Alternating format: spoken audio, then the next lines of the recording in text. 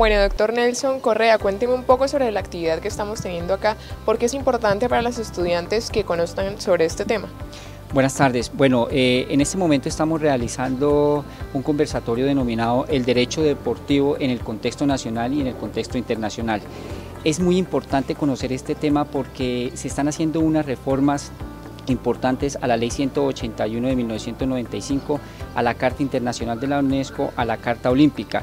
Entonces es información de primera mano que nosotros vamos a tener por parte del doctor Néstor Ordóñez Avero, quien es el que está dando toda la información referente a las actualizaciones y a lo que ha sucedido con las reformas hasta el momento tan importantes en el tema deportivo a nivel nacional e internacional.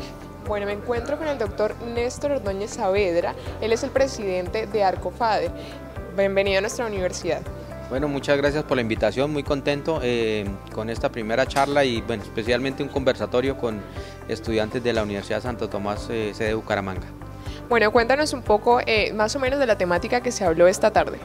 Bueno, esta tarde hablamos sobre el tema del derecho, especialmente dos, dos, ámbitos, el ámbito internacional y el ámbito nacional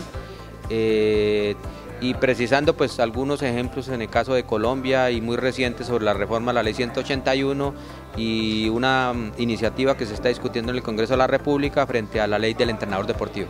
Una de las áreas claves de la cultura física o de las ciencias del deporte es el derecho deportivo una herramienta o un conocimiento esencial para aquellas eh, personas que se van a desempeñar o bien como entrenadores deportivos o dirigentes deportivos, porque son aquellas personas que van a tomar decisiones en, su momento en los municipios, en los departamentos y, y también podemos decir a nivel nacional.